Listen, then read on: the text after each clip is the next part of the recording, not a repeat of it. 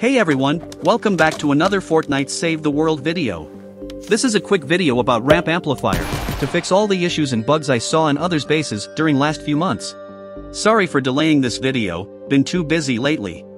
First one is when the Husky speech amp loop bridge to reach ramp amplifier, I saw a lot of people had this issue, I tested endurance a lot but it didn't happen. But someone on the Discord server discovered it and sent it to me. I don't remember his name but I can't thank him enough, I tested endurance over 20 times in two accounts and couldn't figure it out. The Husk simply climbed the bridge from here.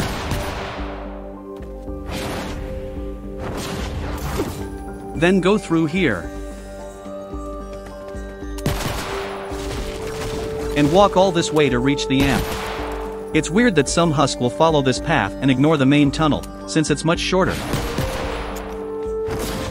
Also, the Husk can't walk on edges like this. Yes we the players can, but not the Husk. Same thing here, if I added a wall here, I can go from here, but not the Husk. It's not a big deal anyway, I just wanted to explain it. Very easy to fix, just add any kind of block offs here to prevent them from walking on this edge. But don't build closer to Beachamp's loop bridge because the mini boss may destroy it.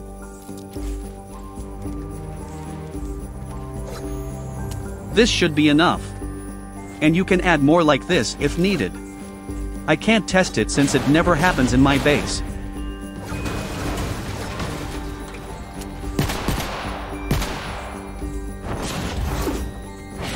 Add this block off too, just in case.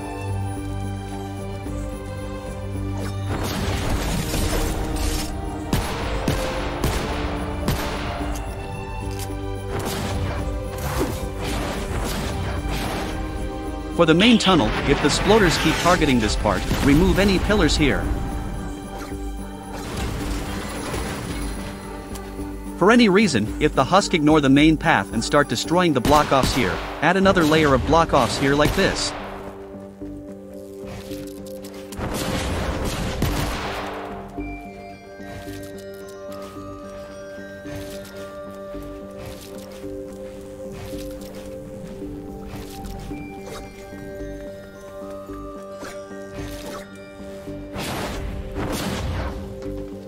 You can add another layer here with cones if needed.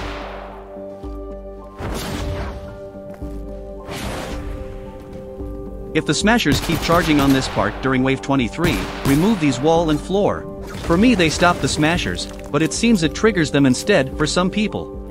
Also, don't build anything here, even don't add floors, because anything here will drive smashers crazy. For any reason, if smashers or mini-bosses ignore the loop bridge after the previous fixes, edit these arches like this. Only if needed.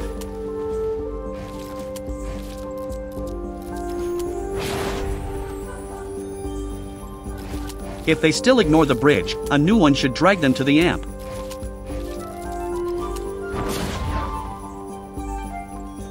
I haven't tested this bridge yet, but it should help, but I don't think anyone will need it.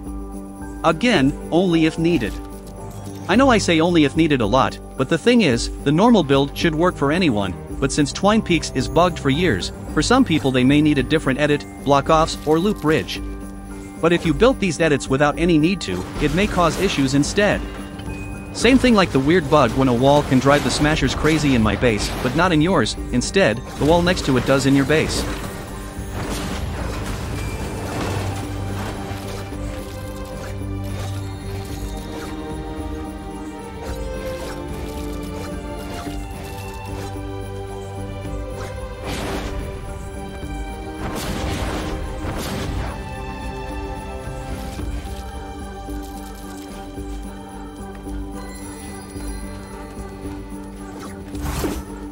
Add a freeze trap on the connecting floor like the main loop bridge, to avoid the mini-boss destroying it.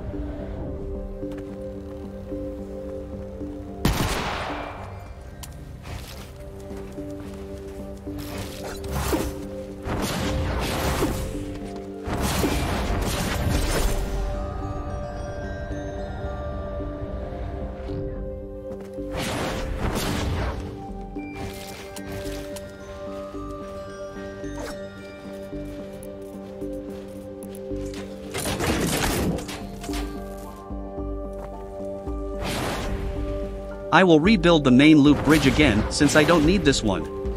And that's it, don't forget to use code LARSIS in the item shop if you want to support me. And don't forget to like the video if you are enjoying the content. Hope you enjoyed the video, and as always, see you in the next one.